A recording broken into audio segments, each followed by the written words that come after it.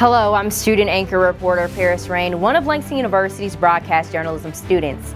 Langston University's broadcast journalism program trains about 45 to 50 students each year, and I'm excited to tell you about the Griffin Media donation gift. We begin to come to grips with, holy cow, like this is life changing in the history of the university.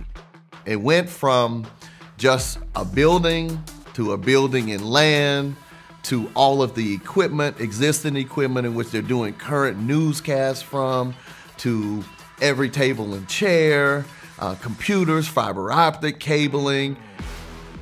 This changes everything.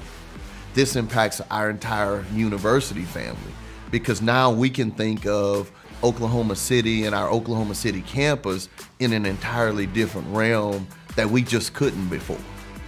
And then we started talking about the journalism program because there's an incredible need for black journalists in America. So by having a historically black college with a great journalism program, it will help us all reflect what's going on to the community as a whole. This building will allow our program to now train students on state-of-the-art equipment.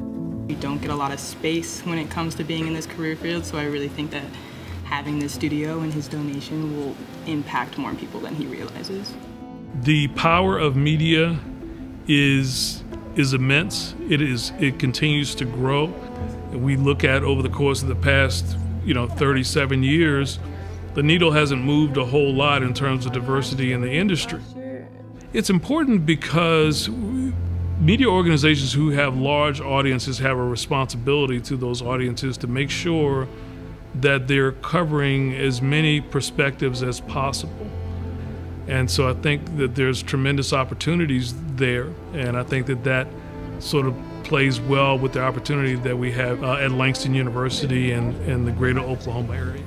We would like to thank the Inasmuch Foundation for their support as it will change our classrooms as we know it, allowing us to interview community leaders and highlight diverse stories.